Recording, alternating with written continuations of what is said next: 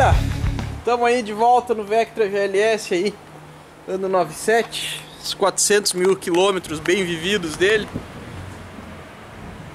A boa notícia é que o cliente aprovou tudo que foi sugerido para ele de manutenção e ainda algumas coisinhas aí que poderia postergar. Ele pediu para a gente fazer o levantamento e já conversar também para de repente já encaixar. Ou seja, o carro vai sair daqui top, né? Então, já vou pedir para vocês. É vídeo novo, né, Diego? É.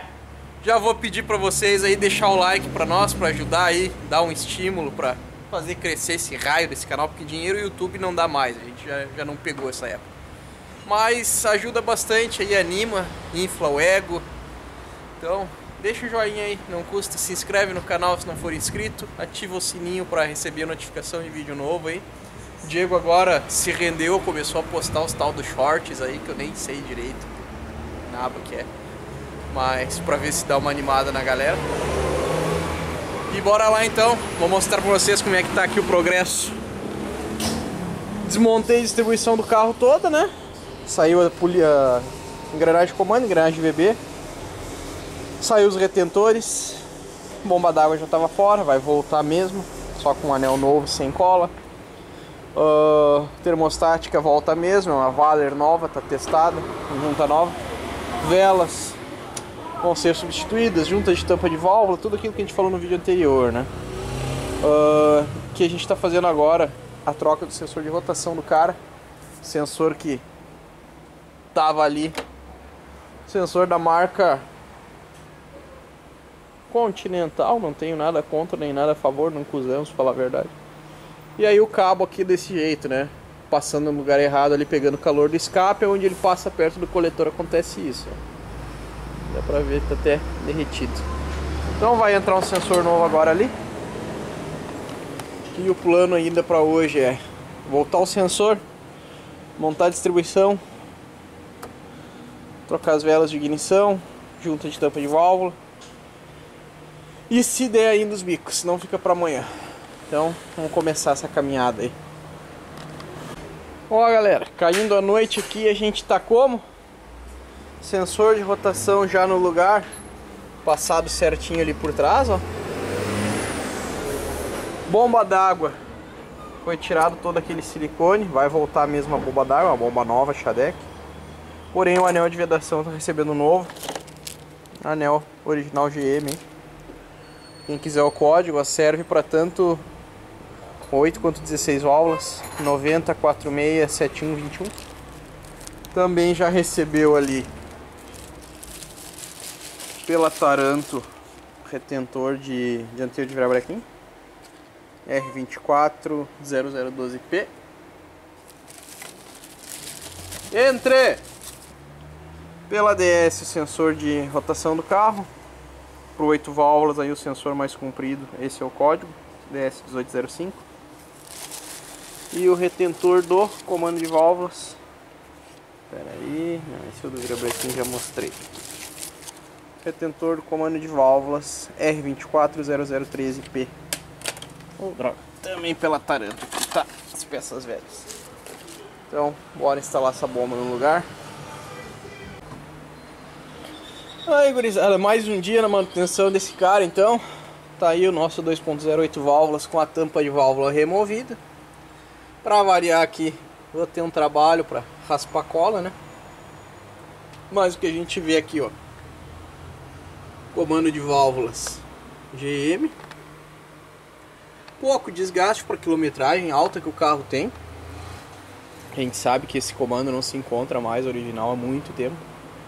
Então, provavelmente isso aí é resultado no carro com lubrificante aí tratado de forma correta, né? Óleo de qualidade trocado no tempo certo, quilometragem certa.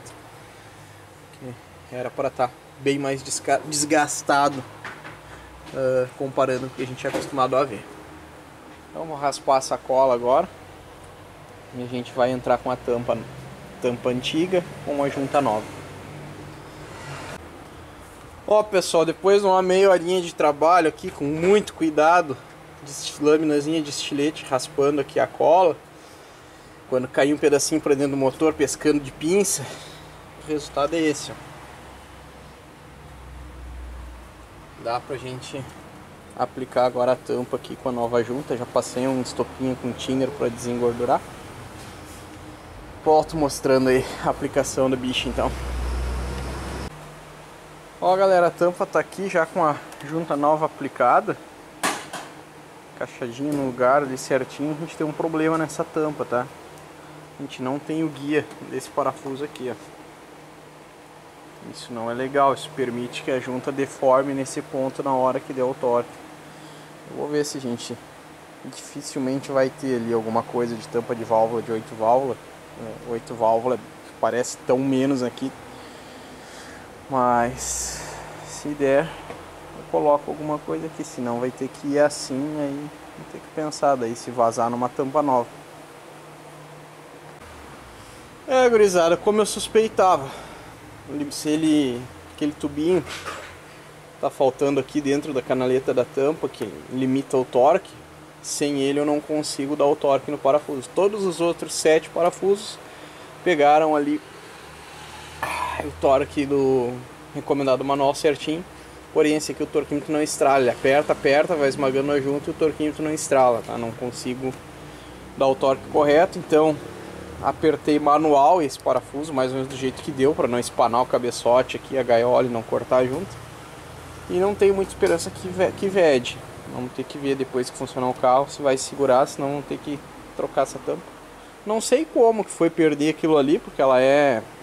Ela entra sob pressão na tampa, ela não sai. Pode lavar a tampa, fazer qualquer coisa, ela não sai. Então, não sei que lambança que fizeram ali. Mas beleza, vamos torcer que vede, mas não tem muita esperança torque desigual logo na ponta, normalmente não, não dá muito certo. Tá desmontado aí então galera o sistema de injeção eletrônica do carro. A gente tem aqui corpo de borboleta, os sensores e atuador. Ó, atuador de marcha lenta. Tem bastante óleo dentro. Então, aí recebe talento. TPS, sensor de posição da borboleta, tem óleo dentro também. Não me perguntem por que, tá? Não deveria. Sensor MAP bem carbonizado. MAP temperatura do ar, um sensor conjugado. Corpo de borboleta virado num fóssil. Passagem aqui onde ele tem a derivação para atuação do sensor de lenta aí, do motor de passo. Aqui as juntas junta do corpo, junta do atuador, não estava colado esse, bem certinho. E aqui a flauta que injetou, isso aqui tá bem estranho.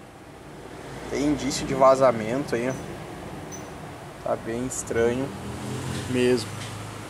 Tomara que não seja vazamento nenhum no corpo de nenhum bico, né?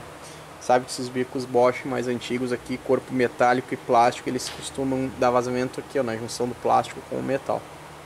Já precisamos trocar alguns aí por isso. Uh, os bicos estão bem carbonizados, as pontas aí também. Ai, limpar bico é besteira, não precisa. Cara, pode ser que a gente coloque eles ali na máquina, estejam todos equalizados. Mas essa sujeira na ponta aqui e os kits de reparo com as peneirinhas, que se for original vai estar tá tudo podre ali dentro, não vai ter nem tela mais, é muito bem-vindo tá? para o funcionamento do carro. Então não cai nessa que ai não precisa, que ai é o mecânico querendo tirar dinheiro. Cada 40, 50 mil quilômetros fazendo isso aqui, tu vai manter o sistema funcionando perfeitamente, tu vai manter as vedações em dia, tu vai manter o pré-filtro lá dentro em dia e a ponta do bico sem carvão. Tá? Isso falando de bico Bosch, né? Se a gente entrar para outros sistemas aí de, de injeção, os bicos dão problema sim, os bicos desequalizam, os bicos até entopem, tá? Então Fica a dica aí. Cuida do sistema de injeção do teu carro que o teu bolso agradece. Gurizada, os bicos do Vectra então receberam aquela limpeza externa. Foi removido as peneirinhas. Esse aqui é os anéis de vedação da ponta aqui para a máquina, não faz diferença tê-los ou não. E o que a gente nota de estranho, tá? Os dois injetores que estão montados aqui na ponta tinham as peneiras ainda de, de aço originais e os dois que estão na outra ponta no lado direito da máquina tinham essas peneiras plásticas já desmanchadas aí, bem antigo. Tem uma diferencinha na coloração dos bicos, dá pra ver que esses dois aqui são mais clarinhos.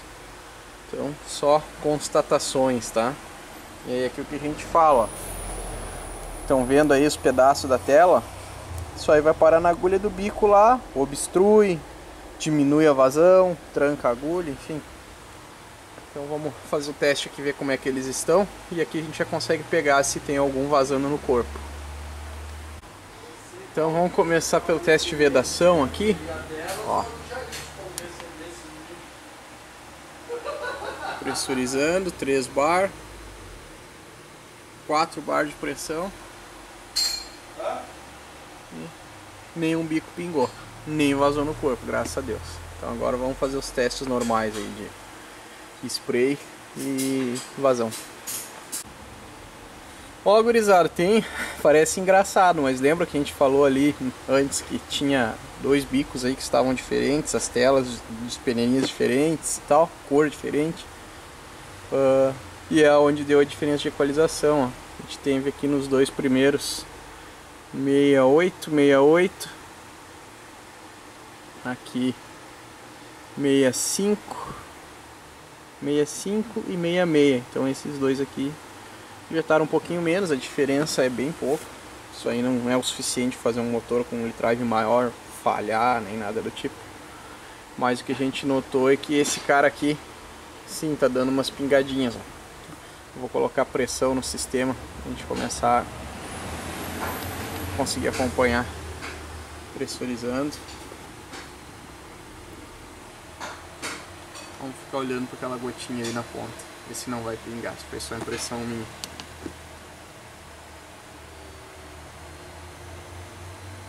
É, acho que foi só impressão minha. Segurou legal. Então, vamos dar mais umas rodadas aqui na, na máquina mesmo, passar mais produto por dentro deles. Essa solução aqui de teste e limpeza da Kobe que a gente usa, uh, de teste na verdade, né, de limpeza é da Kobe também, mas vai ali na Kobe. Mas essa solução de teste ela já tem um querosene, alguma coisa aí que às vezes acaba fazendo ciclos de teste acaba já dando uma diferença nos injetores. Vamos passar aqui mais algumas vezes e aí se precisar a gente vai para o ultrassom. Vamos ver como é que ficaram agora então, grisado. Iniciar o teste aqui. Ligar o estrobo.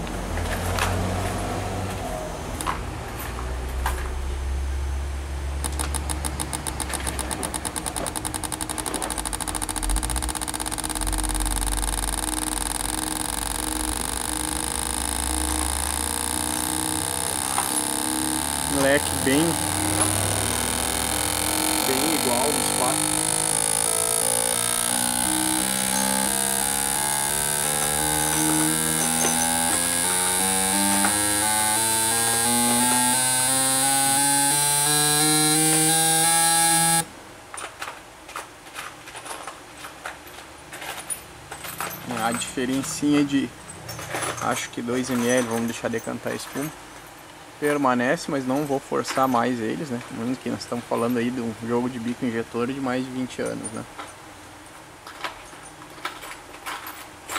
Bem, subiu, ó, subiu a vazão. A gente tem 71, 71, 69,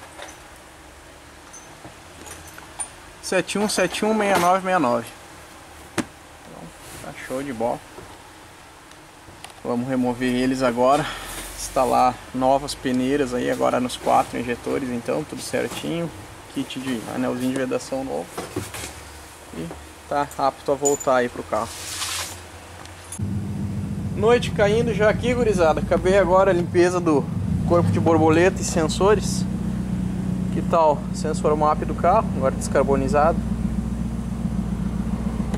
TPS já voltei pro lugar, corpo de borboletas agora limpinho, ó tive que raspar a borda ali na borboleta, tive que abrir a borboleta e raspar com uma espátula plástica. Tão grossa que tava a crosta de carvão descarbonizante não dava conta. Doador de lenta também, limpinho. Então agora é voltar pro carro assim. A flauta e o tubo de cirurgia como se já está instalado e com os bicos, reparo novo, peneira nova, tudo padrãozinho. Ó, gurizada, Vectrão então aqui já deu partida no motor. Completei o arrefecimento com água de novo, ainda para fase de testes e talvez a gente vá ver com o cliente aí para colocar o tubo de inox lá atrás, tirar aquele tubo paralelo. E distribuição aberta. Deixa eu pegar a lâmpada aqui. Nada de vazamento nos retentores, né? Agora é o nosso medo geral. Tanto aqui quanto embaixo. Tudo sequinho. Entrou os detentores pela taranto aí. Junto disso o carro já recebeu sete de velas novos. Agora com a aplicação certa pro mesmo. Era original GM com motor 2.0 2.2 gasolina tá cabo de acelerador novo aí pela IKS quem tiver interesse, IKS 4181 aplica todos os 2.0 e 2.2 8 válvulas do VEC, VEC tá B no caso, né? Uh, a tampa de válvulas, apesar do guia vazando, por enquanto ainda está segurando. E mais aqui, os bicos no lugar que tinha mostrado, tudo funcionando certinho. Essa mangueira do regulador não consegui nada pra gente substituir pela mangueira de Tecalon original ainda. Por enquanto permanece essa, vamos ver até o final do serviço se a gente consegue alguma coisa. O carro vai precisar de substituição da ponta do conector da sonda aqui. Tá quebrado já, só enfiado dentro um do outro, não é legal. Vamos ver se a gente consegue para fazer a troca aqui. Troca só a pontinha do terminal. Fica padrão certinho de novo. Aqui parte de sensoriamento de injeção tudo limpo, computador de marcha lenta limpo, com junta nova, junta do corpo de borboleta também aqui nova, TPS limpinho, calibrado, sensor MAP barra pressão barra temperatura de ar ali também descarbonizado, funcionamento do carro, marcha lenta já é outro, tá? Um reloginho suíço já, né? Então agora eu vou desligar e deixar ele esfriar enquanto eu almoço para a gente fechar aqui capa da correia dentada, colocar a correia de acessórios no lugar. E vou ver se tem mais alguma coisa para fazer aqui, senão daí eu vou passar ele pro elevador lá para deixar drenando aí até segunda, hoje é sábado, deixar drenando aí o óleo de câmbio. A gente vai fazer o retentor do, do trambulador que vaza e vai fazer a vedação da tampa do diferencial lá embaixo. Junto disso já vai entrar com óleo novo no câmbio, né? Quero um eletroventilador aí, tá bem malucão. Ó galera, enquanto o carro funciona aqui já com a correia de acessórios, a gente começa a notar um vazamentinho aqui, ó. Óleozinho minando por ali, ó. Me parece ser a junta aqui da tampa traseira do comando tá montado aí com silicone. E os parafusos estavam bem frouxos. Eu tentei dar um aperto, mas não sei, hein. O pessoal de repente reaproveitou a junta. Uma coisa aconteceu. Então, na segunda a gente conversa com o cliente. Se encontrar a junta, é um, é um serviço relativamente barato aí para resolver esse vazamento. Mas está aí funcionando. Distribuição fechada. Capas tudo certinho. Vou colocar a roda aqui do lado direito agora, a gente movimentar ele até o elevador. Aí galera, estamos desmontando a frente do carro que a gente aprovou a descida do agregado, fazer embuchamento aí. Basicamente aí tudo que a gente está detectando, o cliente está... Vamos fazer, vamos endireitar, vamos deixar zerado o carro. Ele merece, né? O jeito que levou a vida dele aí e tá levando. Merece esse carinho. Vamos terminar de desmontar a frente. Aqui a gente vai trocar o ventilador interno aí do sistema de arrefecimento. Uh, vamos baixar agregado, então temos que suspender tudo aí. Essa alma aqui a gente já falou pro cliente catar uma também, ela tá amassada aqui da batida. Já vi aqui que tá faltando uma presilha para mangueira de hidráulica, teria que catar também. Uh, aqui a neblina, o cliente instalou essa, essa neblina no carro, o carro não tinha. Então o fio está passando por aqui, depois vamos ver se a gente consegue passar de uma forma mais original, ou pelo menos prender na, na mini frente aqui.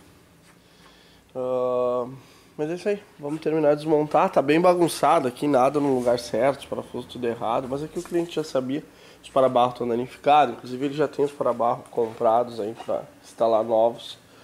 Então tá tudo uma bagunça. Aqui a gente vai ter que trabalhar para endireitar e botar tudo o mais originalzinho possível. Nossa, tu viu o jeito que tá encolhido aqui o paralama? Que vamos ter que endireitar para botar o para-choque de volta. Nossa. Sorte que é uma latinha fina, o cara consegue puxar. Então vamos continuar, vamos tirar os faróis aí. Eu também quer ver se faz um reparo nos faróis. Vamos tirar e aí liberar para ele. Ele vai levar aí numa empresa que recupera. Porque a lente, a louça do farol tá bonita, apesar de estar tá sujo dentro. Tá bonito. Ah, o problema é a carcaça que tá quebrada. Vamos tirar esse lugar aí, eu já mostro como é que tá. Aí galera, começamos a desmontagem aí da parte de agregados que precisam ser desligados aí para baixar o agregado completo do carro. O motor já está ancorado, o radiador já está suspenso. Depois a gente ainda vai trabalhar nele, né? Vamos substituir ventoinha interna e tal. Mas por enquanto ele vai ficar aí amarradinho. Já soltamos a coluna da direção aí. Tá com o parafuso adaptado ali. Parafuso errado. É um 13, tá certo, a rosca tá certa mas está com duas arruelas e é um parafuso mole, um parafuso 5.5. Vamos substituir com um parafuso 8.8 que tem que ser aí ali. É, esses caras são gênios. Uh, e agora vamos continuar aqui desligando tudo que tem que desligar para conseguir baixar o cano, uh, baixar o agregado. Depois a gente mostra quando já estiver no chão. A ideia é amanhã já levar para o terceiro tanto a caixa de direção quanto a bomba de direção hidráulica aí. Então galera, caminhando aqui ao redor do agregado do carro, uh, o que, que a gente viu aqui? A pivô já estava já estava na lista aí para substituição aqui. Tá, acho que uma balança substituída aí. Tá com pivô cravejado, que aparentemente não é original GM. Não é um problema, mas aí vamos só substituir o par de pivôs aqui do carro, né? Sempre aos pares, apesar desse aqui aparentar ter sido trocado bem recente. Eu acho que o carro devia ter passado por manutenção aqui na parte de esféricos dianteiros, porque o setor tá com cara de que foi recondicionado, inclusive as arruelas de vedação aqui dos bujões estão bem novinhos, ó. Então eu acho que até o carro passou por manutenção, só ela não foi tão bem executada assim. Já vou conversar com o cliente depois pra gente ter uma ideia se foi com ele ou não. Uh, só que daí terminais de direção estão com as coifas abertas, né? Só que as barras axiais aparentam estar bem boas. E é um par de barra VMR. Né? E o setor aqui, as buchas que a gente achou que estariam inteiras, na verdade elas não, o setor não tinha folga. Porque o pessoal fez aqui uma técnica que a gente já viu em mais de um carro mete borracha para baixo da bucha aí para tirar a folga. Uh, essa bucha aqui original já não acha mais, então a gente tem que usar uma paralelinha que não é tão boa, mas faz parte, né? E aí o setor quando fizeram, ou de repente caiu, a tampa do rolamento, o selo do rolamento embaixo caiu aí, que é o motivo de estar tá tendo que fazer esse setor. Ele até aparenta nem vazar aí nas pontas, mas ali exposto já deve estar tá acabado para dentro. Vamos torcer pro setor tá salvo aí ainda, né? E aí, obviamente, o cliente aqui é é top e aí seguiu toda a nossa orientação, nem pensou, vai entrar com tudo novo aqui, terminal, barra, pivô. Uh, até é caro, é, tudo é caro, é tudo é dinheiro, mas o custo-benefício tá com tudo fora, já fazer é muito, muito melhor, né, do que deixar pendurado aí, né, e depois ter problema. Sem falar que quando envolve aí parte de de direção do carro, freio do carro, o cara não pode brincar, né? Uh, o calço traseiro já está se entregando. Então aqui também mais uma vez pela mão de obra não, não daria nem para cogitar voltar um calço assim já pro carro, né? Cansado nesse nível, ó. Vocês podem ver que já está gordinho aqui, ó. Então aqui a gente vai recomendar a troca. Depois a gente vai escovar esses parafusos. Tem um parafuso aqui que é crônico. Uma falhazinha de projeto aí da GM. O dreno do ar-condicionado pinga e corre em cima dessa chapinha para dentro do buraco do parafuso enferruja. Buraco do parafuso aqui. É bem comum. Uh, e depois eu vou virar o agregado quando eu estiver ali fora e mostro para vocês. A gente tem um BO para resolver aqui na lateral direita do agregado. O carro deve ter levado uma batidinha ou um pegão embaixo, o carro roda um pouquinho baixo, que danificou a orelha de fixação da balança. Ela está um pouco torta, mas o pior, ela está rasgada numa parte do agregado. Como é o único dano aparente no agregado, a gente vai limpar para avaliar melhor. Mas se for somente esse dano, a gente vai conversar com o cliente, de repente levar aqui no parceiro e fazer uma solda MIG ali, tratar, pintar, para não ter que trocar o agregado inteiro, até porque está cada vez mais difícil aí o agregado original, paralelinho em bom estado, né? Tá bem difícil. Aqui as buchas, o diagnóstico tinha sido efetivo, a bucha já está se separando aí principalmente as centrais, mas as dianteiras aqui também bastante ressecadas. Vai entrar aí o set de buchas novas, as seis buchas novas. A bucha da estabilizadora também já estava bem gasta. Também vai entrar buchas novas aí no lugar.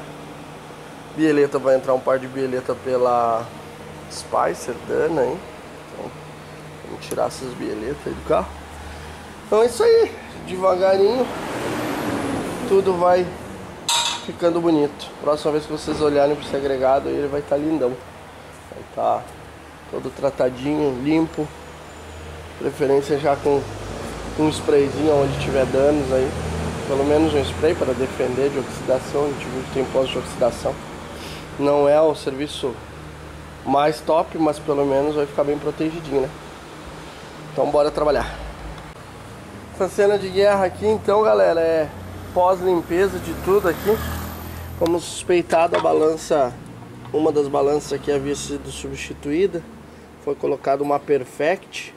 É para ser uma marca nacional. Aí a gente até achava que era uma marca chinesa, mas depois investigando é uma marca nacional, se não me engano, de Santa Catarina. Uh, à primeira vista, melhor do que a Nakata. Mais bem feita, solda mais bem acabada, sem oxidação nas emendas de solda e a chapa da espessura da chapa original. A Nakata usa uma chapa mais fina para fazer a balança. E isso não é bom. Então, até que se prova o contrário, aparenta ser uma peça de boa qualidade. Uh, a gente vai levar para descravejar, descravejar aquele pivô. Depois eu vou dar um tratinho aqui. Vai entrar pivô novo nas duas. Possivelmente teremos que trocar uma bucha de balança. Já vou mostrar por quê. Ó comeu a bucha, ó. Porque o agregado levou um, um roscão aqui e rasgou, ó. Havia falado pra vocês, mas não tinha mostrado. E aí ele amassou e estragou a bucha ali. Então vamos dar uma olhada melhor, uma avaliada melhor naquela bucha. Aqui vai ter que ser reformado. Aqui vai ter que ser reformado. Depois ainda tem que dar um, um tratinho aí, dar uma, uma lixinha e comer uma tinta para proteger ele da, da oxidação. Tirando isso e as buchas do protetor de cárter, o agregado tá bonito, não tem nenhum outro dano aparente aí. Então, a princípio dá para reaproveitar fazendo esses reparos. Bomba da direção hidráulica também já está fora. Já foi lavada aí para a gente levar para terceiro, fazer a retífica da mesma. Aqui o setor também já tá só dei uma aguinha só para poder transportar mesmo. A gente vai levar também para terceiro, os dois vão para o mesmo lugar aí parceiro LB que faz esse serviço para nós, hein? Então depois a gente já deixa lá para eles darem o talento deles nesses itens. Uh, então o que, que adicionou aqui, que daí eu vou conversar, tem, falta a gente passar para o cliente para ele aprovar. Possivelmente uma bucha de balanço, calço traseiro do motor, recomendação. Reparo no agregado. Uh, os coxins da caixa de direção os caras tinham botado uma correia de acessórios embaixo. Um Poliv aí. Nem de GM, nem de Vectra. Poliv é uma 3PK. Então, Isso aí é as, as magias que os caras fazem pra contrapor a folga. Errado, né? Então bota, nem que seja buchinha paralela, buchinzinho paralelo. Já separei ali uns KTC. A gente tinha em casa aí. Como eu disse, não é a mesma qualidade original, mas é a opção que tem hoje aí no mercado, então tem que ser ele, né? Uh, vamos bater martelo nesses outros itens. Ah, sim, os coxinhos do radiador. Tem um que já se entregou aqui. Então vamos comprar também aí um parzinho de coxinho pro radiador. Os parafusos e os suportes da estabilizadora já estão aqui para escovar tudo e tratar, né? Processo padrão também aí nosso. Quando a gente for fazer eu mostro. Mas vamos parando esse vídeo por aqui por enquanto. Eu edito para vocês, até para o cliente ver aí também. Uh, de adicional para o cliente saber só esses detalhezinhos aí, coxinha de caixa de direção, o, o calço traseiro do motor, que daí esse é um pouquinho mais caro, uh, bucha aí, e o agregado, reparo no agregado, mas só o fato de salvar o agregado ele já ganhou a vida, né? O agregado, só um agregado aí, usado meia boca, que às vezes precisa de reparo também, que nem o último, passa de 500 reais, né? Então vamos salvar esse dele aí gasta um pouquinho, mas economiza um monte, né? Uh, é isso aí. Depois eu volto com mais novidades.